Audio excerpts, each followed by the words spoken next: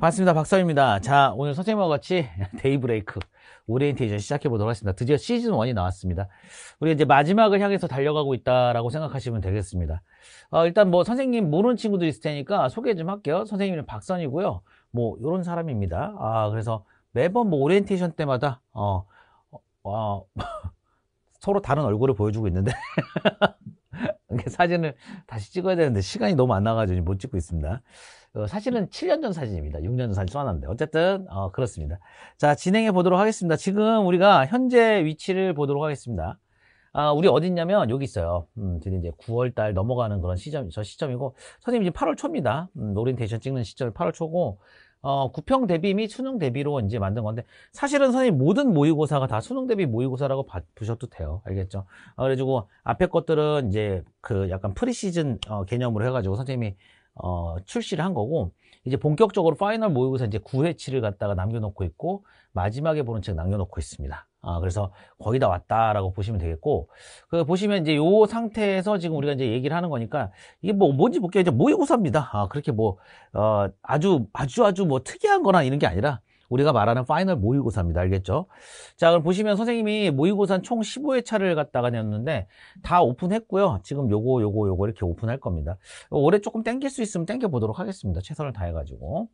어, 보시면 이제 요거 한번 얘기해 볼게요. 이제 교재 소개인데 항상 우리가 패턴은 다 비슷하게 갑니다. 어, 내용들이 좀 다른 것 뿐이지. 그래서 구평 대비 그리고 수능 대비 그래서 모의고사 3회 스마트 코드 뭐 이렇게 제공하고 자, 역대급 자세한 해설지 우리 해설지가 굉장히 좋습니다 항상 자랑스럽게 생각하는 것 중에 하나인데 어 이게 이제 OMR 카드도 뭐 들어가 있으니까 이제 연습 좀 해보도록 하시고요 음. 자 그럼 보겠습니다 일단 교재 특징인데 1, 2, 3회 3회가 아, 이제 들어가게 됩니다 여기는 그래서 등급컷 예상 등급컷 이렇게 42, 39, 어, 40, 34 쉽지 않다는 뜻이겠죠 그죠 그래서 기출 소재를 좀 재강호해서 그게 낯선 느낌을 갖다 주게 만들었어. 근데 이게 기출 소재를 썼다라는 걸 여러분들이 인지할 수 있다면 잘하고 있는 거예요. 음, 그걸 인지하지 못할 정도로 조금 낯설게 만들었으니까 그렇게 보시고 그리고 고난도 문항이랑 심유형 문제 들어가 있습니다. 보도록 하시고 어, 그리고 2회는 조금 더 쉽습니다. 이거보다 그래서 여러 개념들을 확실하게 알고 있는지 어, 그걸 갖다 보는 거고 해석 자료 해석 능력을 좀 많이 요구하는 어, 그런 문제들을 많이 구성을 했습니다. 3회 같은 경우에는 이제 43 요거보다는 조금 쉬운데 요거보다는 조금 어렵죠, 그죠? 어, 약간 어렵게 출제됐는데 모든 문항의 기출 요소가 좀 숨어 있는 어, 회차다 이렇게 보시면 되겠습니다. 이게 숨어 있다는 단어를 썼어요. 어, 그러니까 여러분들이 사고의 흐름이 어떻게 가야 되는지 봐야 되고요. 어, 문제 푸시면서 배워갈 건 진짜 많을 겁니다. 선생님이 좀 작정을 하고 어, 구성한 어, 데이브레이크이기 때문에 아마 꽤 도움이 많이 되실 거라고 생각을 하고 있습니다. 어, 현장에서도 많이 이제 응시를 지금 했고, 어, 응시를 했고 학생들이 그래서 그거에 대한 결과들이 좀 나오는데 한번 얘기를 해보죠. 나머지 소개부터 하고 갈게요. 음, 요거 보시면은 데이브레이크 분석서라고 해가지고 요거는 진짜 잘 만들었어요. 이제 이거 처음에 프레임 짤 때 우리가 회의를 좀 진지하게 해가지고 학생들한테 얼마나 도움이 될까 어떻게 하면 도움이 많이 될까 뭐 이렇게 생각을 해가지고 짠 어, 분석서인데 이 프레임을 그대로 사용하고 있습니다. 요 이상의 것들이 나오기가 쉽지 않을 것 같아가지고 처음에 이제 단원 분류랑 총평이랑 다 집어넣어 놨고요. 한번 쓱 읽어보시면 되겠고.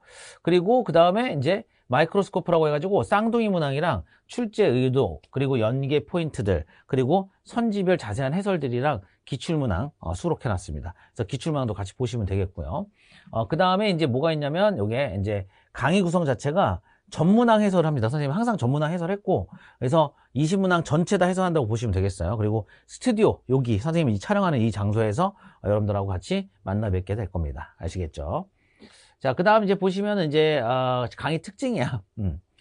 이게 보면 이제 상반기 실력을 점검한다라는 거 무슨 상반기 공부했던 걸 이제 후반기 들어가면서 처음 점검하는 파이널 첫 번째 모의고사고 아 이건 뭐 선생님이 항상 얘기하는 거죠 정확하고 논리적인 이 지구과학 논리만 잘 따져주면 되거든. 그래서 개념 정확하게 아시고 논리 되게 정확하게 가져, 가져 가고 생각보다 어렵지 않아. 아, 근데 이거를 어렵게 생각하니까 어려운 거거든. 어, 그래서 깔끔하게 설명해 드릴게요. 그리고 밑에 보시면 이제 수험생이 실수할 수 있는 포인트들 어, 함정도 많이 파놨습니다. 여러분들 알겠죠? 모래주머니 효과가 있어야 되기 때문에 아주 쉬운 모의고사라고 생각하시면 안 됩니다. 알겠죠? 음.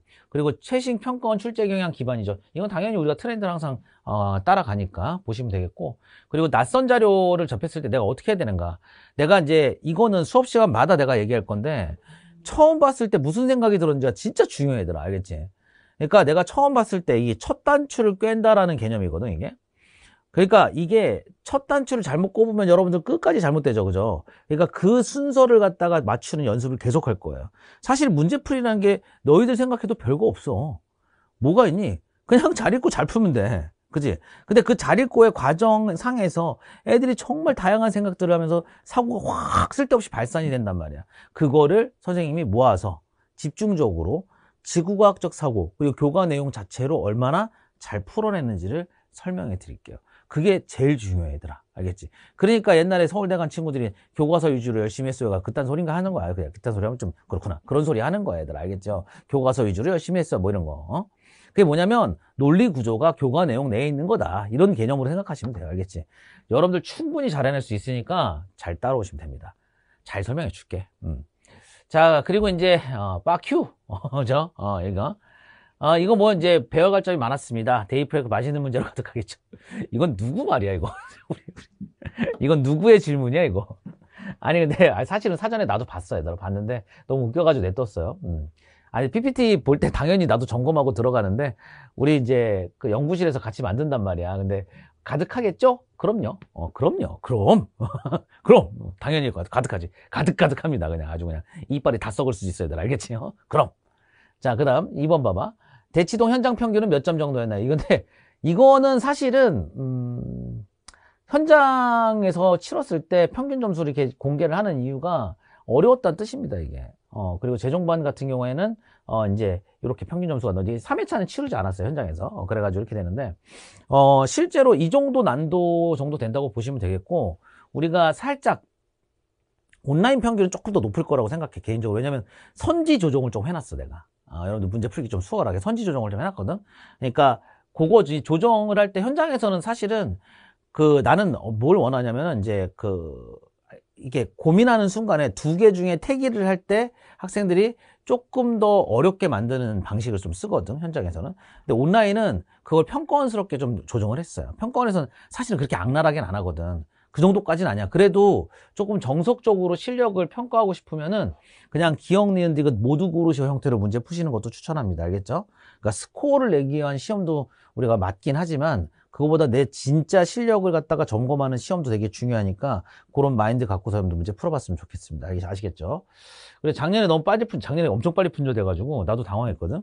어 그래가지고 올해는 어 좀 늦더라도 구매할 수 있게 넉넉하게 낭낭하게 준비해 놓도록 하겠습니다. 알겠죠? 걱정하지 마시고 충분히 준비해 놓도록 하겠습니다. 작년에 선생님도 되게 놀랐어. 갑자기 훅 나가가지고 내가 대처할 수 없을 정도의 속도로 빨리 나갔었어요. 그래가지고 아 아니다. 대처할 수 없을 정도의 애매한 속도로 나갔어. 정확하게 얘기하면. 왜냐면 아예 그냥 완전 조기 품절 되면 그냥 집어넣으면 되는데 되게 애매하게 품절이 돼가지고 어, 그래서 생각보다 좀 빨리 품절이 되긴 했지만 하여튼 또 사실 이렇게 애매했어요. 근데 올해는 그런 상황 안 만들도록 하겠습니다, 선생님이. 알겠죠? 아, 이게 내가 솔직히 말할게. 이게 왜 그때 못 넣냐면, 어, 이거는, 솔직히 얘기해야 되는 말, 뭐 이거 무슨 업계 비밀 같은 거 아니니까. 봉투 찍는데 일주일 걸려더라.